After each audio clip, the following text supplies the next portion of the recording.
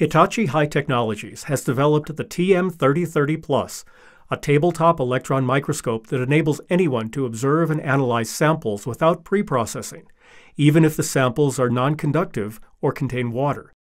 It's compact, just 33 centimeters wide, 60.6 centimeters from front to back, and 56.5 centimeters high. It also comes equipped as standard with features used in high-end models, namely a semiconductor type backscattered electron detector and a low vacuum secondary electron detector, which was newly developed by the company. These features enable the electron microscope to achieve high quality imaging under low vacuum.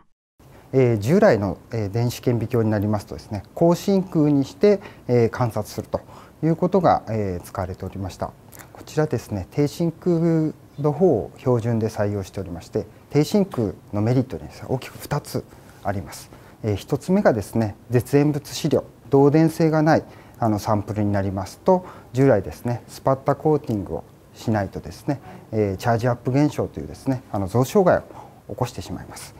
えこちらの方ですね、え低真空にすることによりまして、え絶縁物資料もそのまま、え観察することができるようになっております。また2つ目ですね、え含水物、え水分の多いサンプルでもですね低真空下でそのまま観察できるようになっております。Hitachi High Technology's proven low vacuum technology creates an optimal working environment, enabling bright imaging and fast scanning even in low vacuum mode.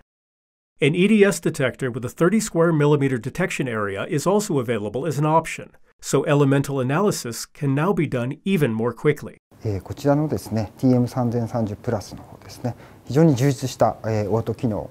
有しております GUI 上でスタートボタンをクリックしていただきますと、えー、自動でですねオート起動、えー、オートフォーカスの方が、えー、働きまして、え、倍率100倍でですね、え、画像の方を表示します。えお客様はですねその後倍率の方をですねあの見たい倍率に調整していただくだけで観察の方ができるようになっております。あの従来の電子顕微鏡ですとどうしてもですねあの難しいというあの概念があったんですけどもこちらの方はですね、えー、より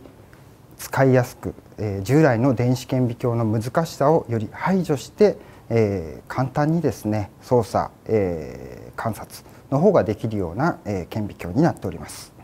As well as supplying this product for research and development and quality control in a wide range of fields, including semiconductors, materials science, and biosciences, Hitachi High Technologies will keep supporting the needs of schools, science museums, and other educational institutions.